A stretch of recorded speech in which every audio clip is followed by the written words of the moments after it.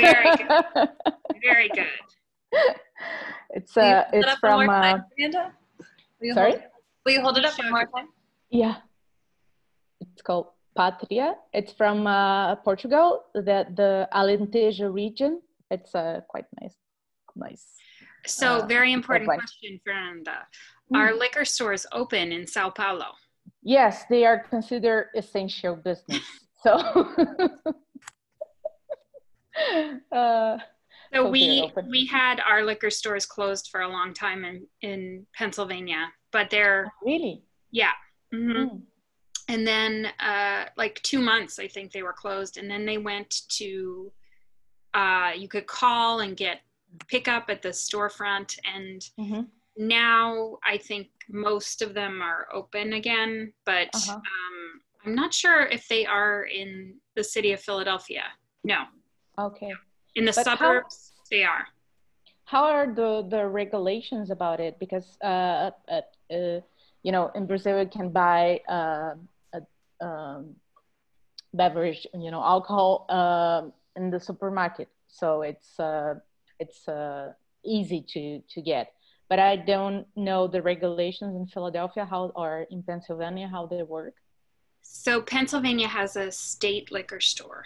So Okay. they um, they control it through the state, and you there are certain grocery stores where you can buy wine or uh, beer, but very Mhm. limited. Okay. Um, beer stores never closed; they were determined to be essential services. okay. But uh, wine and liquor stores did close, so Uh-huh. that's why it's very exciting for me to have my cocktail now. Oh, but- I'm so excited, but I won't ruin what you're drinking, Anna. But it is named after the state I'm from, where you can buy Yeah. bourbon in gas stations. So moving to Pennsylvania has been hard for me. it's not. It's a cultural difference. And Pennsylvania is one of like has some of the strictest liquor laws of any of the states. Yeah. There's a lot Oh, of really? wonderful things about our Quaker heritage, and that is one that's a little rough, in my opinion. Mhm. So I see uh, Tia has joined us. Um, Hi, are you there? she's there. Hello, hello. Hi. Hi, Tia. Are you joining us from? Oh, there you are! Yay! Oh, great to see you. so good to see you. I miss you. Oh. Hello. So everyone, uh, Tia is uh, my former curatorial assistant, and uh, Tia is actually from Brazil, uh, but she now lives. You're in Brooklyn right now, right? Yeah, I'm in Brooklyn. Yeah. Yeah. I'm living in Brooklyn because I'm doing my PhD at, at CUNY at the Graduate Center. And so uh, Tia worked with me to help bring a group of scholars from Mexico and Brazil to the United States a few years ago. And uh, also, Alba is on the phone call, and she also helped with that project. So uh, it's great to see her. She's got a very glamorous shot of Mhm. her uh, right now. so, yeah. Oh yeah. Wanted to say hi to Ruth. I see Ruth Fine on the call. Hi, how are you? You again. See you. Ruth, good to see you. Good to see you too. Thanks for joining us. My pleasure. I missed Hello. out on my trip to Brazil last year, unfortunately, so I've never been. Oh. And I was supposed to go when they had the um, conference on Hayter and uh, in Sao Paulo. Okay. Hayter's prince and the American prince, the relationship between the Okay. Yes. uh-huh. printmaking populations. I think it was um, Rockefeller who gave the prince to Brazil. Yes. Yes. And So, Mhm. yeah. I, I attended that conference. It was Yeah. great. Ah. Yeah, it was great. Somebody read a paper I wrote, but um, Okay. yeah. You can. Were you sick can then, come. Ruth? Is that why you couldn't go? I, I was worried. I was, it was Okay. right before I was supposed to go to Ireland, which of course in the end I only could be there for a week. So um, yeah, I- I wish I'd gone to Brazil. Because I could have stayed in Brazil for as long as I was supposed to. You know, it's one of Yeah. those Terra Foundation uh, Oh, yeah. wonderful catalog. So I do have that. Anyway, another time. Well, Another Ruth, time you should come. yeah, Yeah. now you're friends with Fernanda, and she is a very good tour guide. All right, I will, I will accept your invitation as soon as we can get out of our apartments, which is. Yes, yes. Hopefully soon. Mhm. We're doing uh, we're doing a great project. Hopefully next year uh, again with the Terra Foundation uh, on American art. It's like it's it's it will be a big ex- exhibition on American art, but uh, not the American art that you are you know that that like the general public is uh, you know uh, more comfortable of seeing. It's gonna be a show uh, that uh, goes from 1913 until 83. But the whole idea is to stress um, uh, less known uh, works and artists. How So great. it's gonna be very beautiful. Who's yeah. working on it from the Terra? Is PJ working Uh, on it? PJ working, yeah. PJ is working from Ter- and Taylor. Oh, go get changed. Okay, somebody wants to say hello before we get started. Look, it's Hello. Tia. It's Tia. Yay! Are you gonna be shy? How are you? Hi, Gabrielle. Come on, show your face. Oh, come on. Hel- Hello, I'm glad to be here. It's Mary Frances. Hi, Mary Frances. Thanks for joining us. Oh, you don't have my picture, do you? Oh, Let me get it. I'm gonna get Gabe uh, out of the room, And I think we're gonna get started. and we'll get started. How do I do my make my video work? Share screen? Um, no, so hold on one second. I'm going to ask you to start your video and you can click yes. There, there you go. Okay. Wonderful. So we're going to get Okay. started with a great transition because I'm going to give a quick Zoom tutorial before we get going. Um, but first, I want to say welcome, everyone. It's so, so good to see all of you. For those of you who don't know me, I'm Abby King, the Assistant Director of Adult Programming here at PAFA. Um, and I want to start off today, like I start most of our events, thanking our members. Um, thank you to all the PAFA members on this call for helping us keep PAFA strong and for being here with us. And cheers everyone to another PAFA Pours. I don't know about you, but I love seeing what beverages people have. I know Anna and Fernanda are going to talk about that a little later, but so cheers and thanks for being here with us. Cheers, everyone. Cheers. So just a quick Zoom, some Zoom overview of how we're going to organize this today. I've gone ahead and muted everybody. This is not, this does not mean that we don't want to hear from you. We really do. Um, I am going to ask though that you utilize while Anna and Fernanda are beginning the talk there, they have some lovely images to share with all of you that you do stay muted for that, but that you can use our chat to ask questions, um, send links, drop things in. I'm going to start that here. We've already got one comment, um, as well as drop just a quick link to our membership, since I thanked them. Um, but feel free to utilize the chat as we go through. Um, the other things are, the, the reason I ask you to mute is that Zoom loves to assume it knows who the speaker is. So even if you're, you think you're being quiet, um, a cat might come in um, and it'll zoom over to you. So we're gonna ask that unless you're actively speaking, that you stay on mute. We will have a conversational part of the um, event where we'll ask you if you wanna ask questions by unmuting yourself, we'll just ask you to raise your hand with the participant button. So if you go down to the bottom of your screen, it says participants. You click on that on the right-hand side, it'll say raise hand. Um, if all else fails, just drop in the chat. I want to ask a question or, or wave us down, but if you can try that option first, we'd appreciate it um, since we do have quite a few people on the call. A few other quick housekeeping things. We are recording today's event. Um, so if you'd like to not be on the recording, you can mute your screen. So at the bottom of your screen, if you're on a computer, next to that little mute button is your camera button. You can click that on and off and you won't be on the recording. Um, but, and I also mentioned that if you can't see yourself on here, you're welcome to click that button. That should solve that as well. I will mention, unless you're actively speaking or asking a question, you're not necessarily going to be on the recording. It's really only our speakers. Um, and we will share that on our YouTube channel in a few days. So if you know anybody who wanted to be on the call and couldn't be, feel free to point them in that direction as well. And I'll drop a link in a second to that. Um, other than that, I'm sure I'm missing something. Oh, um, Zoom recently updated, so views are a little bit different. Um, where they're still the same too, but they might look a little different. So if I'm the, the big head at the bottom of your screen, you're in speaker mode. I'd recommend for the beginning portion of the event that you stay in speaker mode so you can see Anna, you can see Fernanda. Um, But then once we switch into more conversation, if you want to go to the right hand side of your screen where it says gallery view, that way you can see everybody in what I think of as the Brady Bunch view. So right now I can see quite a few of you all lined up in my screen. Um, other than that, I'm gonna now turn it over to the Curator of Historical American Art, Dr. Anna O. Marley, who's gonna introduce our very special guest tonight. Um, but thank you all for being here and thanks Anna and Fernanda.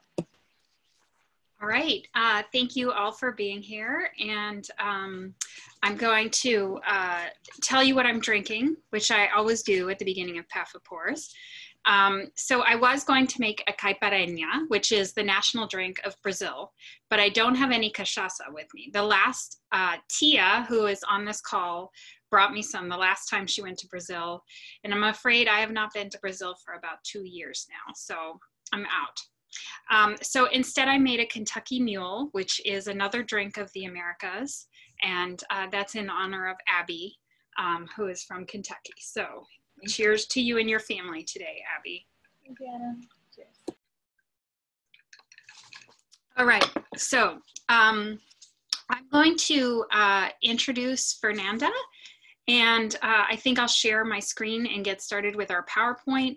Um, I'm going to introduce Fernanda, tell you how we met and how this Brazilian curator and this curator from Philadelphia became colleagues and started working together. Uh, we're going to talk a little bit about the connections between 19th century art in Brazil and Philadelphia, the really strong connections you never knew about. And uh, then we're going to talk about um, some art being made today. And we'll turn it over to Fernanda to tell you a little bit about the Pinacoteca, where she works in Sao Paulo. And uh, then at the end of her spiel, she's going to talk a little bit about what the post COVID reality is for the arts in Brazil. And I don't know if some of you saw, um, there was a news feature, I think it was in The Guardian yesterday, that, um, that Brazil is now number two in the world in cases of COVID. And guess who is number one?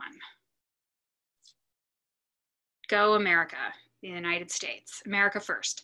So we have a lot in common, just like we did in the 19th century. And so maybe we'll talk a little bit about that too. So let's uh, get the PowerPoint shared and I will share the images and introduce you to Fernanda. Okay, so um, here we have uh, PAFA Pours American Art Across Hemispheres. And my special guest tonight is uh, Fernanda Pitta, who is a senior curator at the Pinacoteca de Sao Paulo and lecturer of art history at FAAP Sao Paulo. I'll, I'll let her say what that university is when she talks. Um, she holds a PhD in art history from the University of Sao Paulo. And her research interests focus on discussions of national art paradigms in a transnational context. So like myself, she is really interested in connecting um, art across uh, hemispheres. So across uh, South America and North America and Central America, as well as connections between Europe and South America. So currently, in addition to collaborating with the curator Naine Terena in Véxoa, I don't know how to pronounce Portuguese very well, um, uh, who is the first in, uh, it's the first exhibition of indigenous contemporary art to be held in the Pinacoteca, scheduled to open this fall. It's very exciting. She's also working on an exhibition um, that is going to be opening in Belgium on colonialism, war, and fear in current times. So I think just there, that gives you sort of the idea of the breadth of Fernanda. We've worked on 19th century art. She's also working on contemporary art, and she's working with Europe. Um, so, oh, let's see, there, that's how I make it go forward. Okay, so um, how did Fernanda and I meet? Uh, so um, I was lucky to uh, be able to attend a conference in, in Rio de Janeiro a number of years ago about academies uh, throughout the uh, world. Um, it was held in, in celebration of um, the Academy de Belas Artes in Rio de Janeiro. And um, I was one of a few invited speakers from the United States. Uh, I had been really interested in the connections between um, history painting, in particular in the United States and Mexico, and I really uh, didn't know anything about Brazilian art. It was my first trip to Brazil. Um, you know, there are virtually no art history textbooks that reproduce Brazilian art uh, available in the United States. Uh, it's very even hard to find uh, textbooks of Mexican 19th century art in the United States. So the only way to see this art is to go. Uh, to go to Mexico City, to go to Rio, to go to Sao Paulo, and to meet the curators, um, and uh, see the art in person and make the connections. And uh, the Terra Foundation has made that possible uh, for many scholars uh, of the United States to travel to meet their colleagues in Central and South America. Um, and that is how I got there. Um, then, so uh, I was introduced to Fernanda at this conference in Rio, and we immediately discovered our mutual love of 19th century painting. Uh, and uh, we started plotting. And then there was another opportunity that was made available um, between the Terra Foundation and the Association of Art Museum Curators. They established an international engagement program for international curators. And so I had met Fernanda and said, "Let we should apply for this. We can work together." Um, and we were one of, I think, the first three pairs of curators. And it enabled Fernanda to come to Philadelphia and learn uh, about the US museum world. It also enabled us to do partnerships and also at the same time, we were able to secure a wonderful uh, grant from the NEH to have this convening of scholars uh, that I mentioned. Uh, my colleague Tia, who's on the phone call, Alba, and also my colleague Natalia Vieira. Um, we organized this group of scholars, and you can see them standing in that photo uh, on the stair. Uh, wonderful. I, I think back about that time that we all got together just so often um, colleagues from from Brazil, from Mexico, and the U.S. and the discussions we had, which just continue to resonate today. Um, and uh, the images we're showing you here are one from PAFA's collection and then one from the Museo Nacional de Bellas Artes, right, in, in, um, in, in Rio. And Fernanda, I wonder if you could talk about uh, how you were struck by this painting, Pat Lyon at the Forge, when you came to visit Philadelphia for the first time. Yeah. Yeah, thank you, Anna. Thank you very much for uh, having me with you in Pours. I uh, wish to thank Abby for uh, her support and, uh, you know, um, explaining how, how this program works. Uh, and um, of course, uh, this could not be possible without the Terra Foundation and AAMC um, uh, Foundation, who uh, granted us this incredible fellowship uh, and uh, let us be part of this program and be together thinking and researching um, the history, the art history from the United States, Mexico, and Brazil.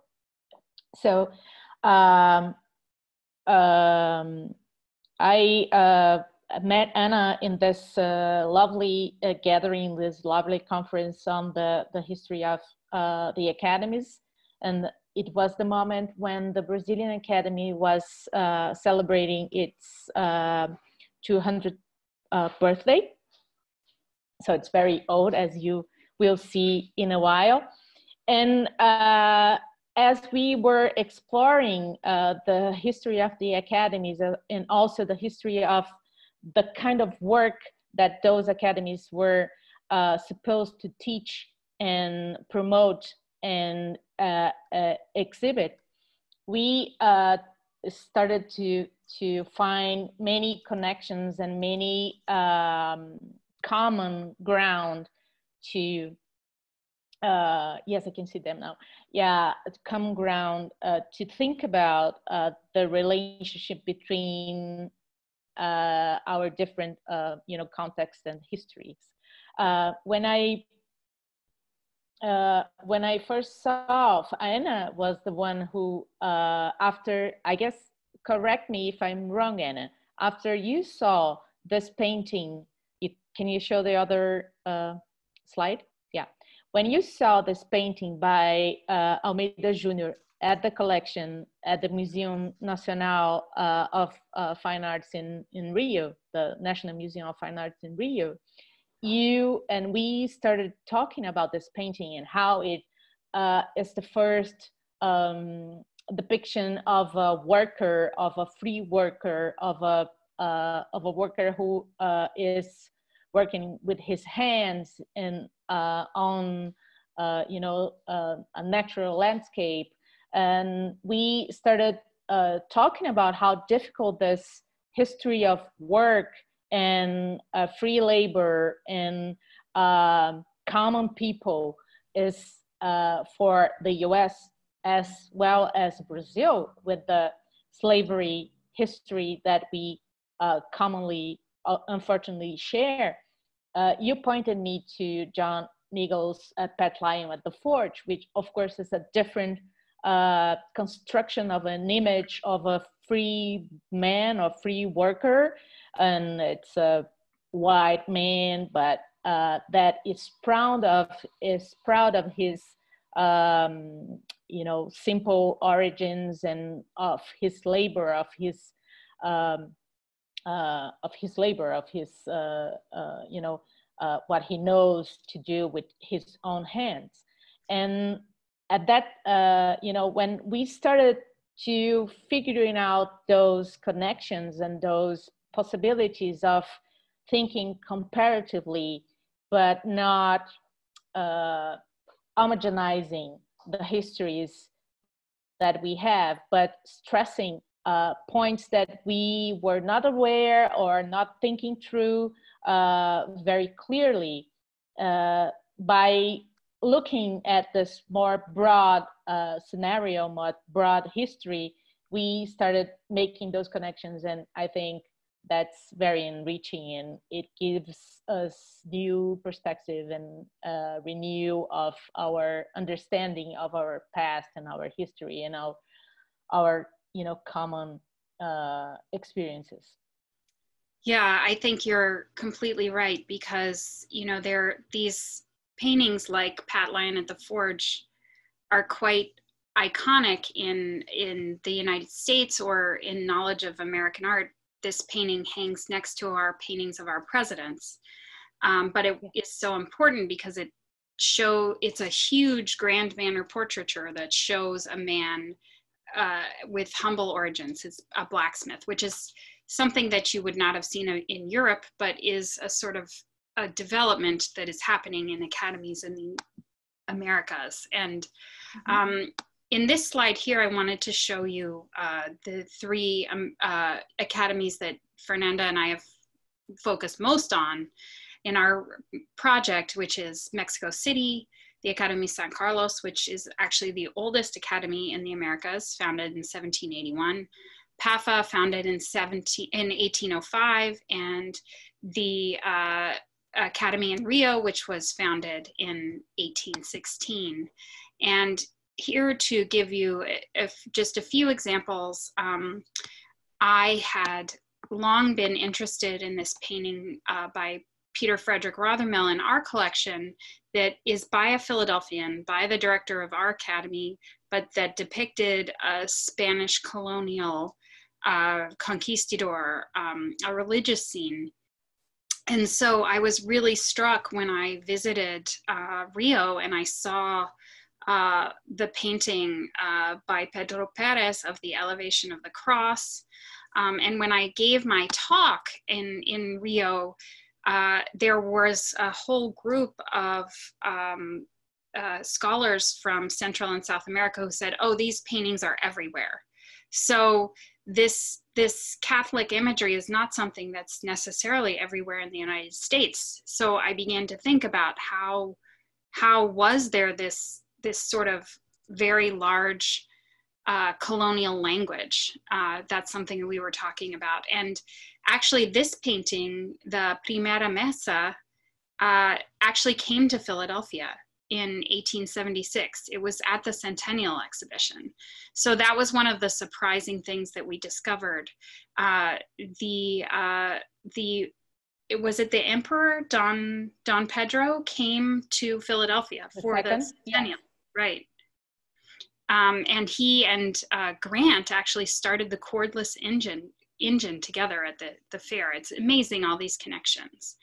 Um, so another uh, work that um, Fernanda drew my attention to uh, was the painting of Moema.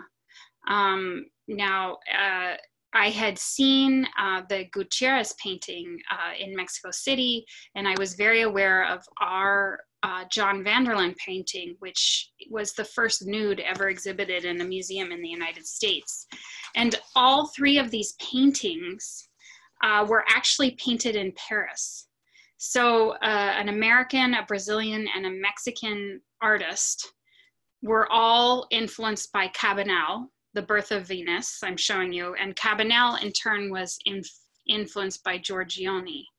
And but what's interesting, what something that Fernanda and I were interested in exploring is how uh, in the Americas, in these academies, in particular, academic art, uh, the form of the scene of Venus was adapted for a colonial or imperial uh, trajectory of a national identity in in these nascent countries. Yeah. The same imagery used in each country.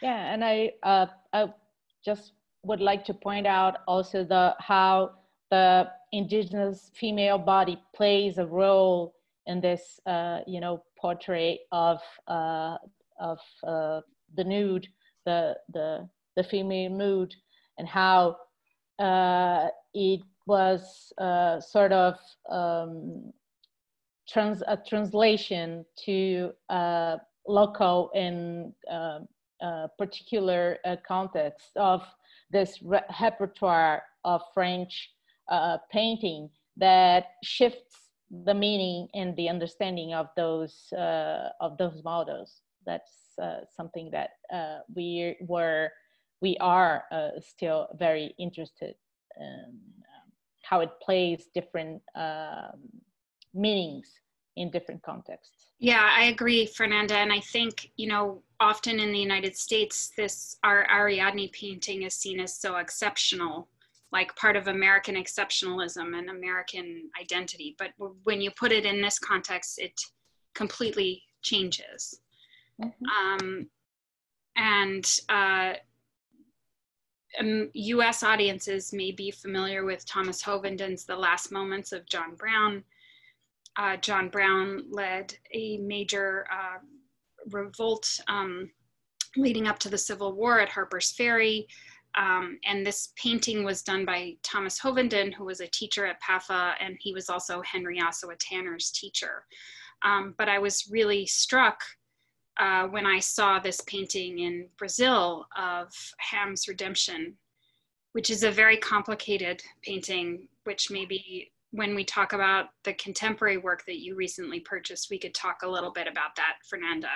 Uh, but it struck me that we don't often talk about, we talk a, lot about race relations in the United States and the legacy of slavery, but we don't connect it to Brazil's or other countries' complicated relationships with slavery. And I think there's a benefit to thinking about these systems of oppression and visuality across nations. Um, and I'm showing you here uh, a, uh, a Native American First Nations artist and a Anishinaabe artist, Rebecca Belmore, who it, uh, my colleagues at the Peabody Essex Museum drew, drew my attention to this work, which is an artist literally turning her back on um, these kind of representations, uh, like Moema and like Ariadne, of uh, women, uh, you know, Native women who are are in, allegories of the state who have been usually sexually assaulted. Um, and when you think about the large levels of violence and sexual assault against First Nations communities in the United States and Canada, um, I think Rebecca Belmore's work, Fringe, which is a suggestion of sort of bloody beating, um, and then this parallel of the white cloth, but then turning away, is a remarkable example of a contemporary artist who is taking the language of history painting and refashioning it for her own purposes. Um, and then Fernanda, uh, I wanted to turn it over to you now and, and have you talk about this work, Atlantico, that you recently, your institution recently purchased. Yeah, thank you. Thank you, Anna. Yeah, and I think uh, those three images speak a lot and uh, how um, uh, the legacy of slavery and in the the struggle of enslaved uh, people and their descendants still resonates uh, very profoundly in our countries, and uh, uh it's interesting to see how uh, the U.S. and Brazil respond to um, this heritage, this horrible heritage in different ways, and also how uh, it was uh, the slavery and slavery uh, institution was uh, uh, addressed in different uh, manners in the U.S. and Brazil.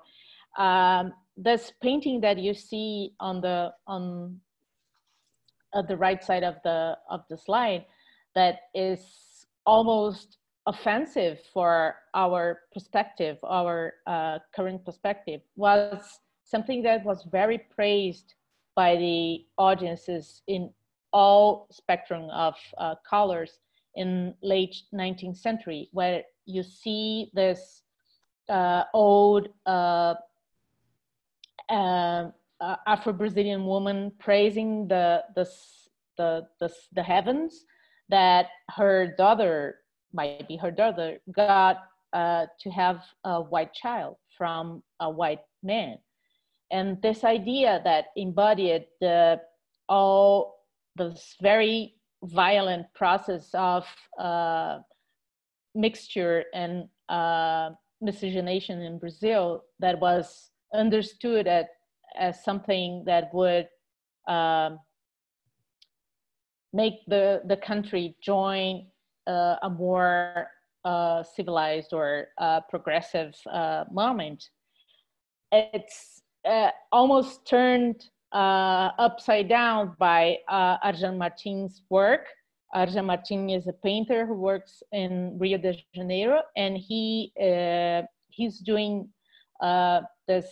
He's addressing history painting in a very challenging and very creative way when he uh, addresses the issue of the transatlantic uh, trade, uh, traffic of people, of human beings through the Atlantic, which connects really uh, the three uh, uh, continents or the three uh, places we we we're talking about Brazil, U.S., and Africa, and he does it by revolving, kind of revolving images that are taken from uh, history books or from the press, and he's mixing uh, all those images into this composition, and you you can see maybe you can see at the first uh, at the center of the painting you have like this child that is uh, he took from a newspaper. And then you have all the symbols of the crown and the the date that marks there is the date of the end of uh, official or legal trade uh, of uh, slave trade. And and how it makes by those circles like this connection and this idea that we have we share a common history that is horrible and that we still have uh, to address and to compensate and to repair in a way uh, in our current times. Thank you, Fernanda. Um, so I've asked Fernanda to, before we uh, switch to conversation, to tell us a little bit about the Pinacoteca and the work she does there, because many people on this chat may not have been to uh, Sao Paulo.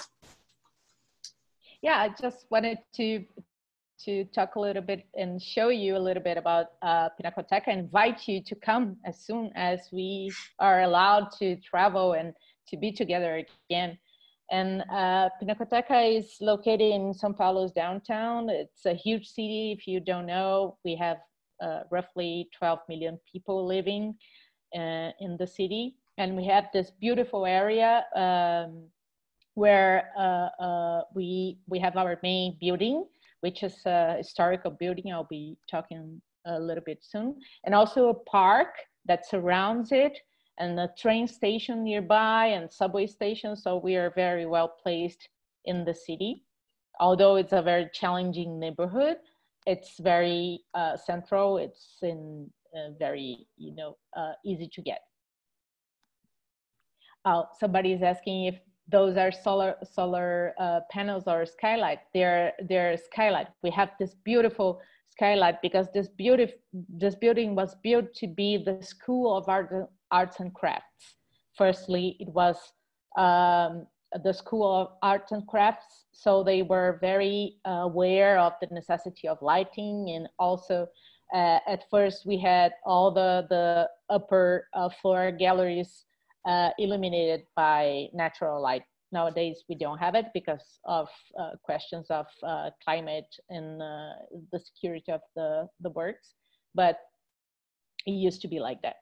So this is the main building and uh, it was uh, made in the late 19th century um, to install the, the School of Arts and Crafts. And when Pinacoteca was found in 1905, it it was installed in this uh, left uh, upper uh, windows that you see there, only one room. And now uh, we have it all. The all building is ours. We have this main building, and then we have a second facility, which is called Estação Pinacoteca, like Pinacoteca Station. And we have there our offices and also exhibition spaces, like the fourth floor. It's a very beautiful uh, open uh, space for mostly we do contemporary exhibitions or solo uh, mid-career shows there. And we also have our library there and we have this very interesting project with us, the Resistance Memorial, which is uh, because this building was occupied by the um, uh, the, the police during dictatorship. So many political prisoners were there and they were uh, tortured and they were killed. And so we keep the memory of the building, which is a very heavy and difficult memory, uh, with several educational pro projects that we do there. And we are also planning to have a third facility to be open hopefully in 2022 uh, that will be uh, exclu exclusively um, uh, to contemporary art, and that uh, that. Sorry, I don't facility... know what happened. oh, don't worry. I don't know what happened. Uh, don't worry, and uh, it's a school, like a modernist school, school, as you can see by the by the photo, that will be renovated and adapted to um, to our collection of contemporary art because we have uh, 10,000 uh, works collection right now and we're still expanding. We need more space to show our uh, collection. Um, okay. Good. Right. There you go. Thank you. Well, Pinacoteca is a museum of Brazilian art and um, as we understood uh, our mission is to be like addressing the art of the present. And so we have a historical collection, but we also do collect uh, contemporary art and we do have a very special place for contemporary art in our program and, and all our activities. As you can see this uh, photo there is an opening performance with Coletivo Legítima Defesa that we did uh, last year in this exhibition that I co-curated with Jochen Volz that was called We Are Many Experiments in Collectivity, where we had this uh, structure that it's a, it's a work by Rirkrit Tiravanija, the Thai uh, artist.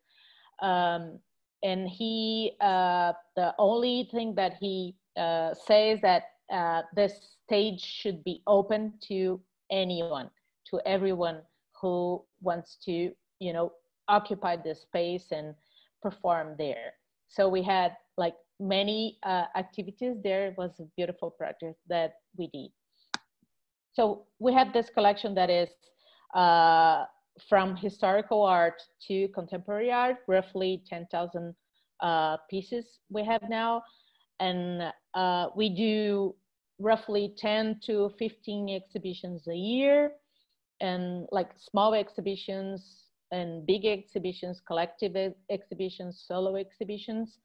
Uh, and we also have like a very strong and uh, educational program and a very uh, strong uh, uh, public program of conferences, seminars, art history courses, and uh, we are partners with many institutions and we've been working together um, with international museums for a long time and doing travel shows and so on. And hopefully uh, we can resume doing that after this very difficult moment we are living in. Uh, can, can you go back one?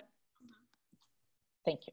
Uh, this is just a photo of one of our rooms uh, where we hang the, the permanent collection. Uh, it's the history in uh, painting side of the room. And you can see like this uh, students attending a, a, visit, a guided visit to, uh, to the collection. And it, you can explore our collection through our online uh, collection in the project, in the Google Arts and Culture project that we don't have it uh, inside our uh, website, but uh, we roughly 500 works are uh, online through the Google project. And also I, I put a link there to this virtual tour we have in the museum. You can go to the currently we are uh, our main project for 2020 is the view hanging of the permanent collection and i'm giving you a pic just uh, like a, uh, a small uh, uh, view of one of the rooms that is dedicated to art and um, to the work of the artist and the and the and the all that is related to the uh, the training and the exercise of, of art uh, by the artists. And we are expecting to uh, be able to open it in end of August or beginning of September. Uh, well, uh, at last I would like to share just for us to, to address this situation, the losses and the the lives that we are losing uh, during this uh, horrible uh, pandemic and talk about and hear you also about the cultural impact of it. In Brazil, uh, we are uh, all museums and cultural centers, movie theaters, concert halls, and galleries are closed. We are five, uh, phase five of reopening. At the end of August, like the more optimistic uh, expectations is at the end of August to be reopening. But we still don't know if this is going to be like that. We also facing like cuts, uh, very severe cuts in funding. Uh, is funded partly by the state of São Paulo and also uh, by private uh, investors and private um, donations and we had cuts in salaries we had cuts uh, in budget but uh, we are still able to secure every personnel every job that we have. So we are lucky at this moment. Uh, the losses that people are um, projecting for the cultural sector in the in Sao Paulo is like a very uh, big part of Sao Paulo's economy is the cultural uh, creative industry.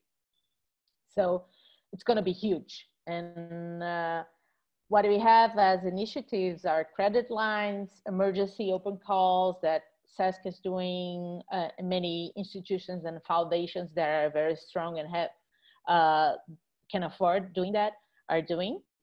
But we still have to uh, address how how to rebuild all the sector after uh, the impact of COVID. During this time, we are, as I said, we are uh, lucky that we can afford like continue working and we are very uh, engaged in our uh, virtual uh, program that we are doing mostly through Facebook and Instagram, doing campaigns. Uh, one campaign that is called uh, Pina de Casa, Pina from Rome, home. Pinacoteca, Pina is short name for Pinacoteca. And we are doing daily posts in uh, Instagram and Facebook that uh, we curators and the educational department are doing. We are writing, and so every day you have a new work from the collection and also uh, a text that goes um, and talks about the work and gives like uh, some elements for discussion and uh, understanding and uh, knowing uh, those works. We have been doing also live uh, appearances at mostly at, at, Instagram, like conversations or um, or interviews. That last uh, Saturday we had Grada Colomba, Kilomba, which is a Portuguese artist from uh, African background. She was discussing the current uh, moment that we are living with Black Matter, uh, Black Life Matters, and everything in the pro- protests around the world. So it was very powerful. And uh, in addition to that, we did an online exhibition, the first time that we show uh, collect our collection of videos and films. And it's the last uh, slide.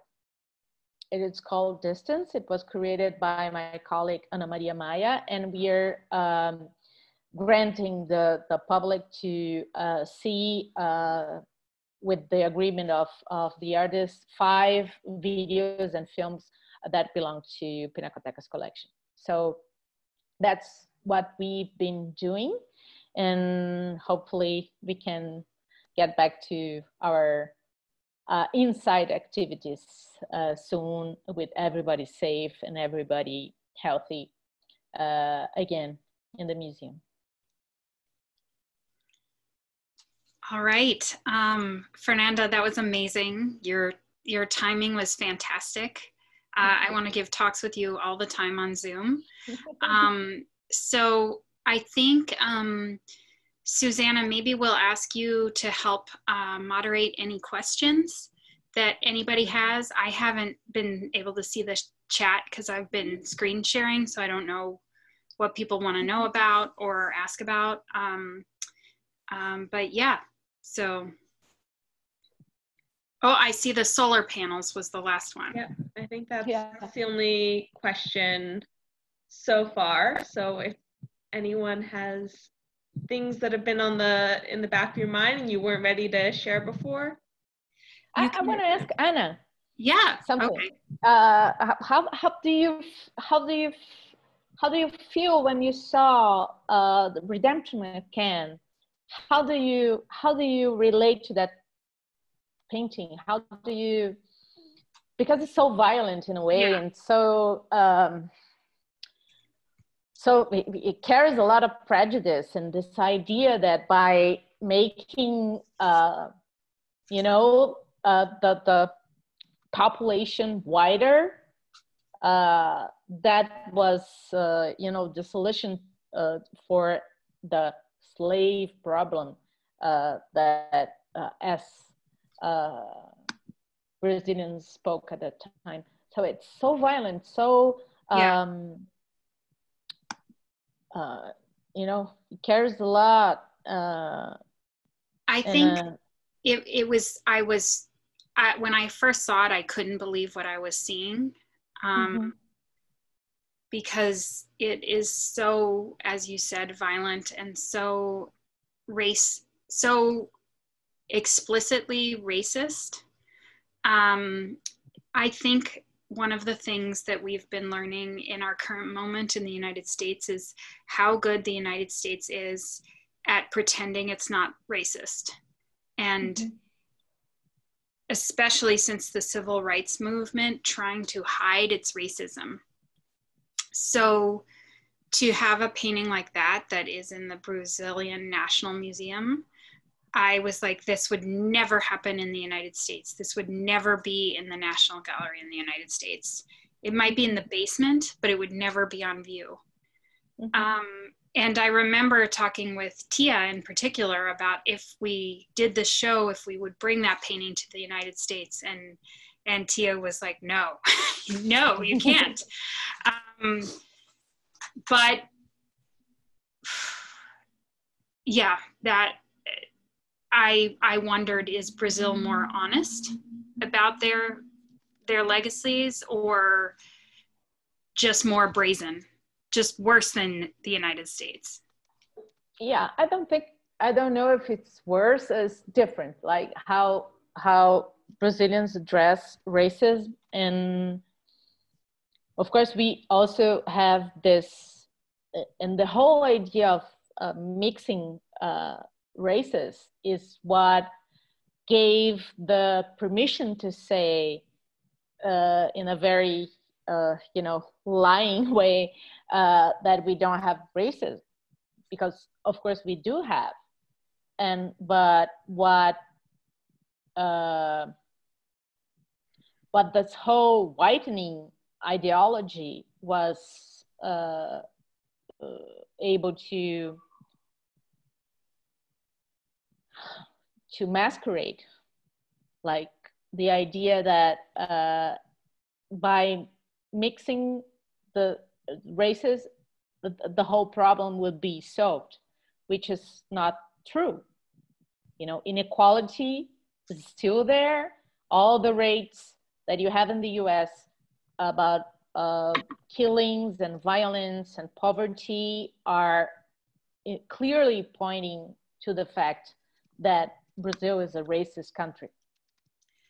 Actually, that's a great lead in to the question uh, Natalia had, Fernanda, which was could you talk a little bit more about what the conversation is like in Brazil, Brazilian cultural institutions, mm-hmm. specifically mm-hmm. related to Black Lives Matter and the moment yeah. we find ourselves in? Yeah, uh, it's, uh, uh I, I still think uh, because we've been having like uh, politics and uh, activities that try to address inequality of race and violence and injustice um, for you know uh, like trying to look into our collections and see how black culture is represented how uh, in terms of uh, percentage how many Black or Afro-Brazilian artists are uh, represented and how we can, uh, you know, address this inequality, those inequalities.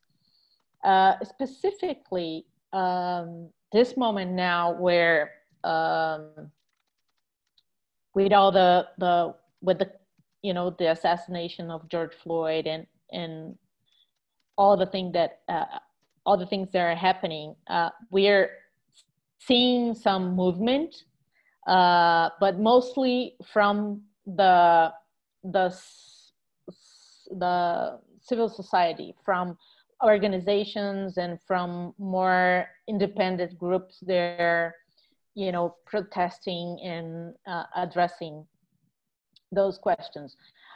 Um, we uh, at pinacoteca very timely uh, decided to uh, do this talk with um, with uh, Grada Kilomba, which we shown uh, her work uh, last year. We did a solo show of her last year, and she was in Brazil. We we uh, at the moment she was releasing the the translation of her um, book in Brazil, and she's now a very powerful voice in like in the Portuguese uh, language uh, world, and uh, and so uh, we are engaged in various uh, different kinds of projects for next year. We uh, for this year for the, the permanent collection we are very aware and very you know um, engaged, committed to uh, make an imbalance of women artists or of Afro-Brazilian artists and um, in the whole spectrum of uh, you know the culture of those communities in our exhibition. And we are engaged in several projects for the next years that would address invisibility of black culture in brazil and uh, the inequality of representation in cultural institutions. So hopefully we can we can you know be part of this movement and be uh, you know, and be uh, fighting against against uh, injustice and inequality and uh, violence against Black people and Afro uh, Brazilian uh, people. Thank you so much, Fernanda. Thank you. How are you, Natalia? Good. It's so nice to see you. And Anna. Nice to see you too. So nice to see you, Natalia. I love that both you and Tia are in your kitchens. Lovely. yeah. And Fernanda and I are in our like libraries or yeah. You know, living rooms. um, living room. Living room. Um, so I think this sort of, uh, the, there's a question from Alba where she, I think it sort of follows along what you were just saying, but she mm-hmm. says she wants to hear more about you, about the rehanging of the main collection. Several major museums of American art have been reinstalled and varying degrees of success. So, what is your approach? Oh, thank you, Alba, for for this uh, question. It it's been like a very uh, long process and of rethinking and trying to figure it out. What is the moment? What are we? Uh, what do you we need to say and see right now? And uh, the former uh, hanging is a very historical. It like tries to to fill the gap in a way that we don't have in Brazil a museum that speaks broadly about Brazilian art history and uh, you know the farmer hanging. The, the whole idea was to present this this story from colonial times to uh, roughly mid uh, 20th century in a very internal uh, discussion, like presenting how the academy was founded and how artists were trained and how uh, what kind of works they were doing and how collections began to you know be established and how uh, all the avant-garde movements uh, appeared and so on and so on. So it was very historical. People say chronological, but I don't like the, the term because we also had it's not like about dates, but it's about problems and about issues and about questions. Uh, but we decided that uh, now we needed to approach the collection differently. So we decided to go for a thematic hanging. So we uh, established two main, uh, you know, themes. One is landscape and terrain and like the you know the uh, uh, the territory you know as land and as pertainance and of course as resource uh, you might remember the experience of the uh, the landscape uh, exhibition so it gave a little input uh, about it landscape uh, uh, throughout the Americas that um, we did of, with, with the US too. and the other part is about the body. So we begin with the body of the artist, the artist working, and how, the tools that the artist um, uses as uh, you know he creates or he or she creates.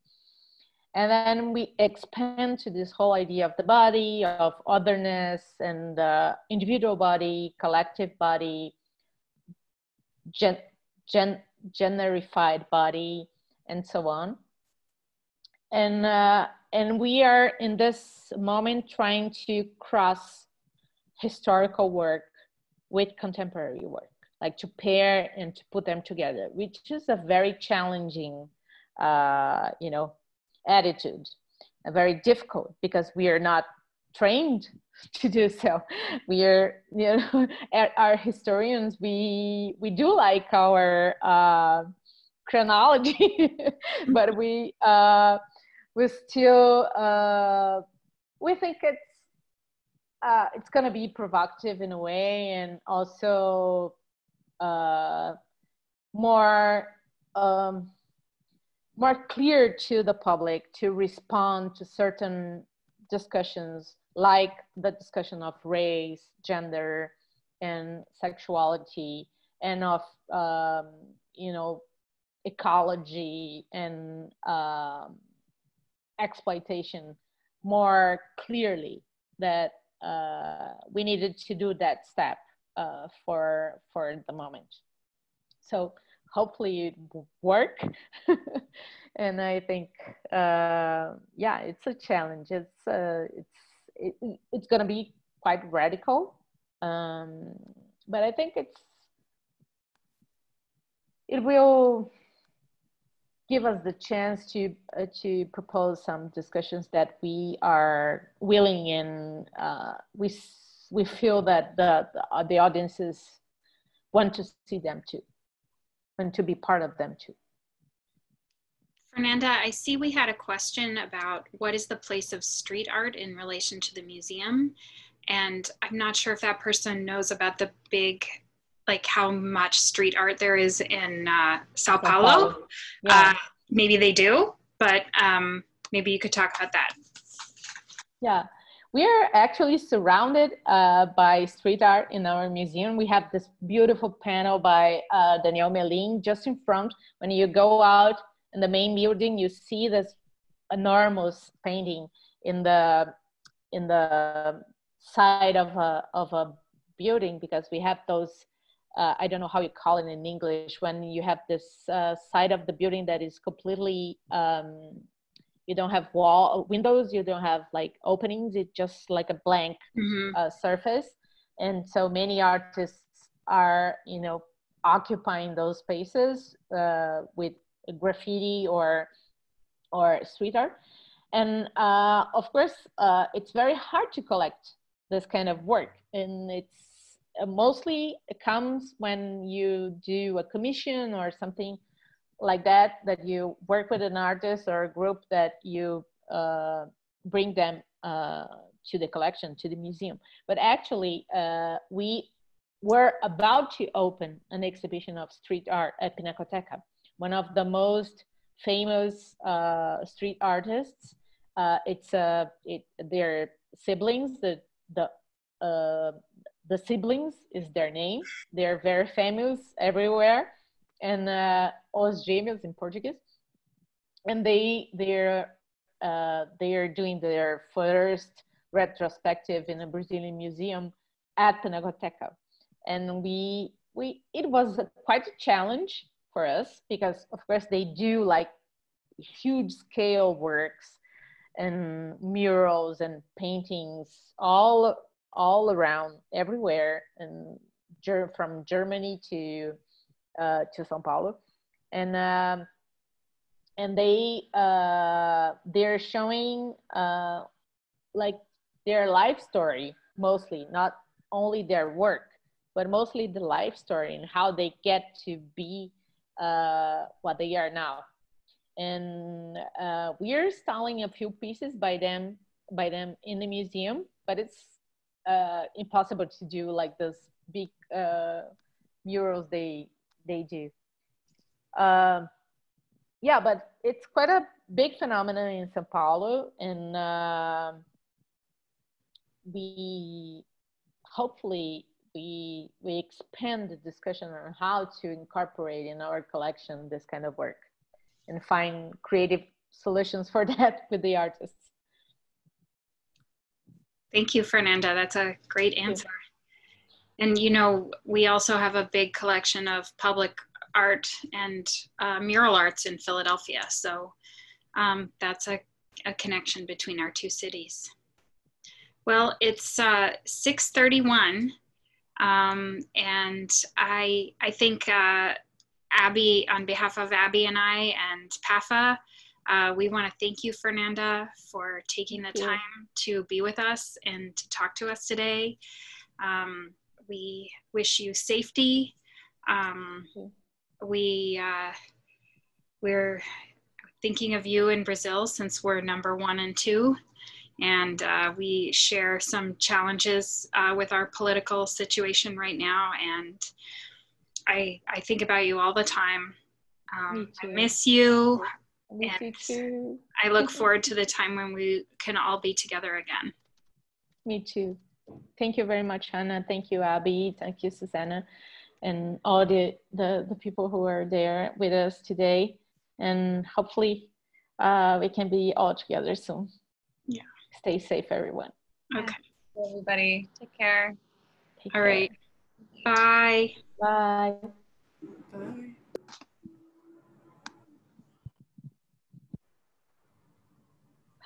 Amanda, it was lovely getting to, getting to work with Thank you. Yeah. Bye bye.